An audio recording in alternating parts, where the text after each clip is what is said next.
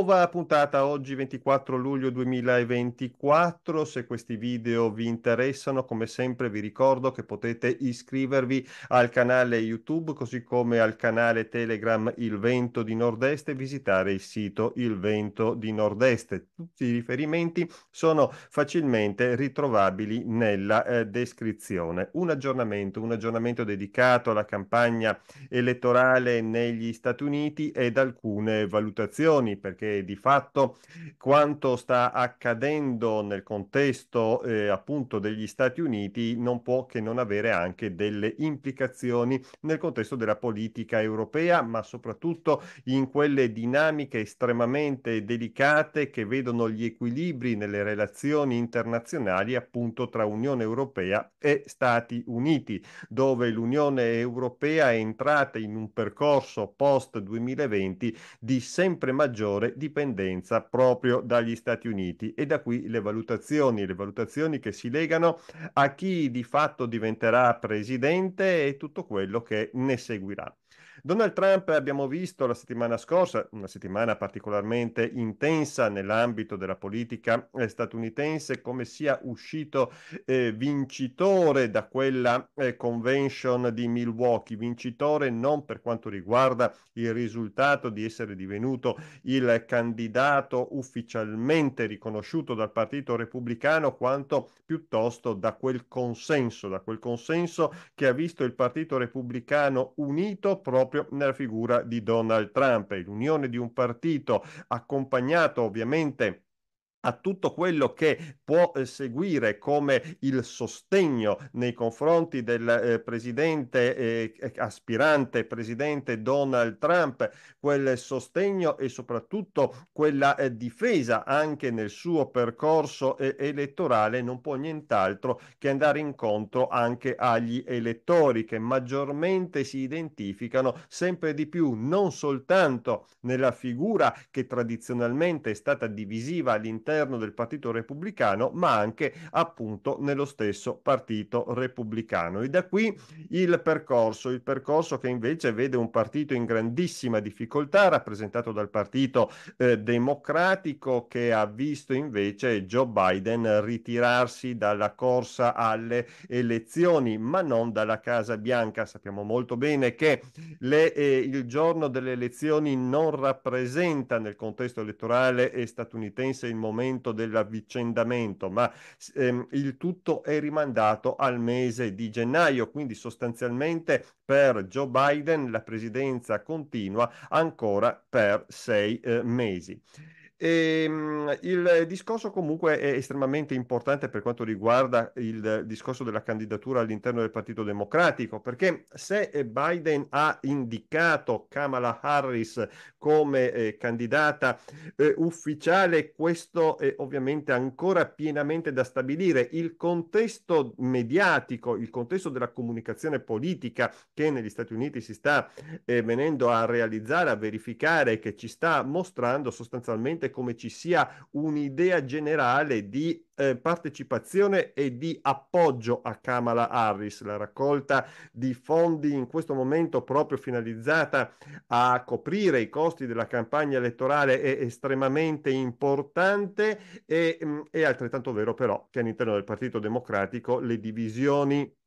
non mancano in questo momento, anche perché in sostanza Kamala Harris diviene eh, candidata saltando tutta quella procedura che caratterizza il percorso elettorale statunitense rappresentato appunto dalle elezioni eh, primarie. E questo mette in evidenza anche la precarietà, se vogliamo, di questo sistema, perché poi in definitiva tutto può essere rimesso in discussione in, a seconda delle, delle circostanze. E, ehm, il percorso della campagna eh, comunicativa eh, che in questo momento si sta assistendo all'interno del, del Partito Democratico non dà spazio ad altre eh, figure se non a quella di Kamala Harris. Però, eh, come detto anche nel contesto del video eh, precedente, ehm, Kamala Harris eh, si trova in una posizione anche difficile perché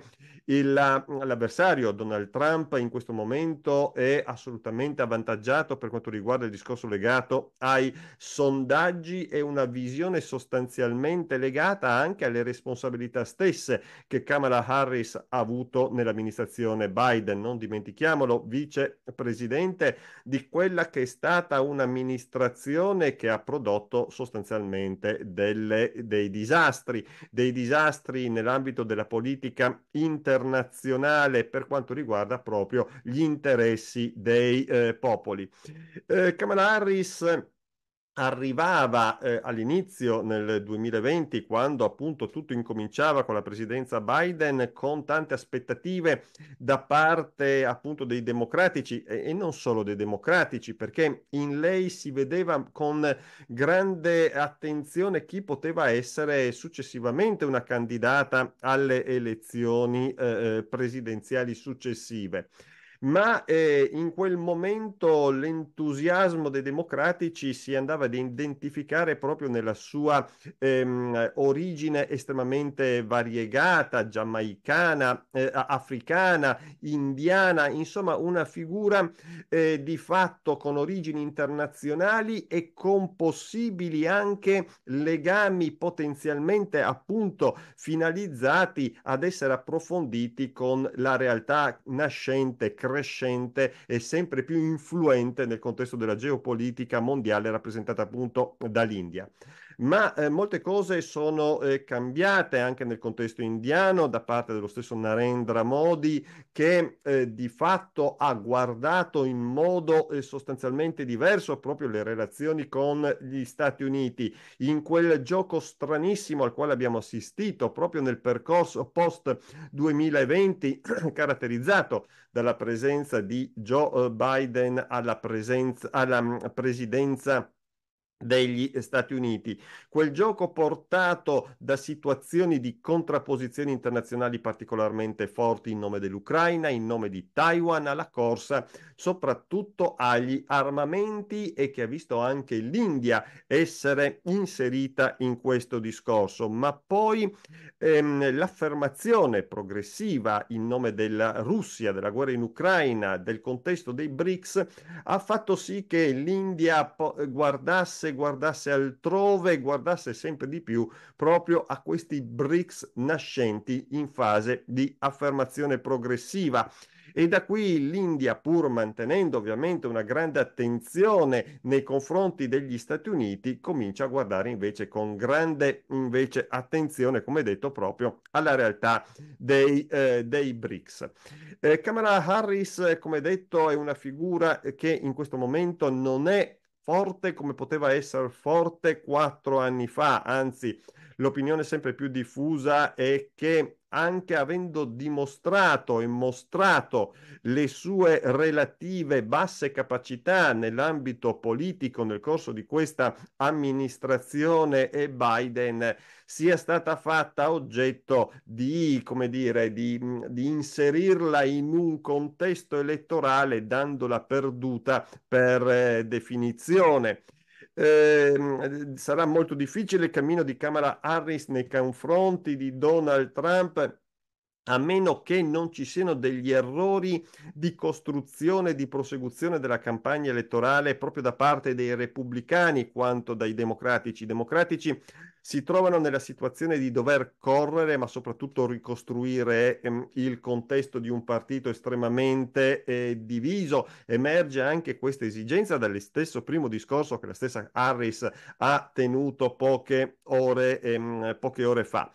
E, ehm, il mondo di Hollywood così determinante nel contesto delle, eh, della, mm, delle decisioni e dell'influenza soprattutto del, ehm, dell'elettorato si muove con alcune figure ehm, storicamente importanti e intergenerazionali, potremmo dire così, come Robert De Niro, come Barbara Streisand, ehm, come eh, Ricky Martin ehm, ed altre figure che ovviamente caratterizzano il mondo dello spettacolo in generale degli Stati Uniti, tutti a favore eh, di Kamala Harris. E si sa molto bene quale sia l'importante relazione tra Hollywood e l'elettorato americano e soprattutto anche quella capacità di portare messaggi che in nome del cinema diventano elementi di comunicazione politica profondamente incisivi, soprattutto nel lanciare prospettive, programmi e visioni di una società che molto spesso però eh, con la realtà ha poco a che fare. Ehm, insomma, le valutazioni sono estremamente tante in questo momento, come si sta guardando in Europa la situazione. La situazione in Europa sta, si sta guardando ovviamente sotto due punti di vista, uno da parte di quello rappresentato dai politici e uno da parte dei eh, cittadini. Ebbene, il contesto della politica europea guarda eh, con meno preoccupazione il, eh, il, ehm, la, la, la, campagna elettorale statunitense, le elezioni presidenziali, perché Biden, come appunto eh, abbiamo avuto modo di sottolineare tante volte, da queste elezioni non poteva uscirne eh, vincitore. Kamala Harris ha qualche probabilità in più, ma soltanto qualche probabilità in più. I mesi che seguiranno saranno estremamente eh, duri e difficili per l'Europa l'idea della continuità è l'elemento fondamentale. Continuità non può essere nient'altro che seguita dalla continuità e ehm, per eh, ovviamente il contesto che in Europa si è mostrato assolutamente ehm, determinato nell'andare avanti con tutto ciò che è stato e guardare al futuro con tutto ciò che è stato programmato precedentemente senza tener conto poi in definitiva di quelle che sono stati gli importanti segnali venuti dal popolo europeo attraverso le stesse elezioni europee, ma attraverso anche quei cambiamenti di rotta che si sono avuti nel contesto della politica interna dei diversi paesi, ebbene andare in una direzione differente rappresentata da quella di, eh, di quella politica di Biden eh, non, ovviamente andrebbe a, a, portare dei disagi e soprattutto delle rotture nell'ambito di un percorso politico che appunto abbiamo sotto eh, gli occhi. Biden quindi sostituito, sostituito dalla Harris, cambierebbe sostanzialmente il nome ma non cambierebbe la eh, sostanza e da qui per la politica europea forse un sospiro di sollievo viene eh, portato proprio nel momento in cui il ritiro di Biden è stato, por- è stato appunto evidenziato con l'arrivo di Kamala Harris, ma come detto il discorso è molto più complesso. È molto più complesso perché per i democratici sarà difficile riuscire a eh, ehm, scalare questa enorme montagna rappresentata appunto dal consenso che Donald Trump sta acquisendo nel contesto statunitense, ma attenzione, perché dobbiamo andare a guardare l'altro punto di vista, ovvero quello dei cittadini europei. Ebbene, da quanto emerge, e soprattutto andando a, a leggere eh, tante espressioni che sono state eh, portate nell'ambito dei social in, eh, in Europa, in Italia e anche altrove, la eh, vicenda della competizione Trump-Harris assume dei toni particolarmente curiosi, come se da una parte Trump e dall'altra parte Harris fossero protagonisti nel, nel contesto stesso europeo. E tutto questo ci riporta alla memoria ci riporta alla memoria quel 2008, piena campagna elettorale di, eh, in questo caso, Obama, che andava a tenere un comizio, andava a tenere un comizio dove? A Berlino, sotto la porta di Brandeburgo, là dove Kennedy eh, teneva il suo comizio negli anni ovviamente 60, i primi anni 60 ovviamente, e, ehm, e da lì tutto quanto ovviamente eh, assumeva un carattere simbolico in una visione anche di come viene considerata l'Europa negli Stati Uniti e come progressivamente probabilmente anche gli europei considerano l'Europa nei confronti degli Stati Uniti, perché quell'idea di un'Europa che si sta sciogliendo e che e diventi sempre di più quella che ormai potremmo definire, tra virgolette o senza virgolette, una colonia americana, una colonia statunitense, ebbene un'idea che si sta affermando sempre eh, di più. Infatti la eh, visione di eh, partecipazione da parte dei cittadini europei, eh, se non altro nei termini del desiderio di chi possa vincere le elezioni, ma finalizzata a quella metodologia che si lega in maniera eh, più legata a una competizione che ci può ricordare una competizione sportiva che una competizione politica, dove maggiormente subentra la passione alla, alla ragione, ci mette in evidenza questi aspetti. Attenzione però, attenzione però che nell'ambito delle valutazioni, soprattutto da chi guarda, vede in, in, Trump una sostanziale conclusione di un percorso portato dai democratici e da Biden nella direzione di un indebolimento europeo, non ci deve portare a vedere come una sostanziale lotta tra il bene e il male nei confronti della stessa Europa.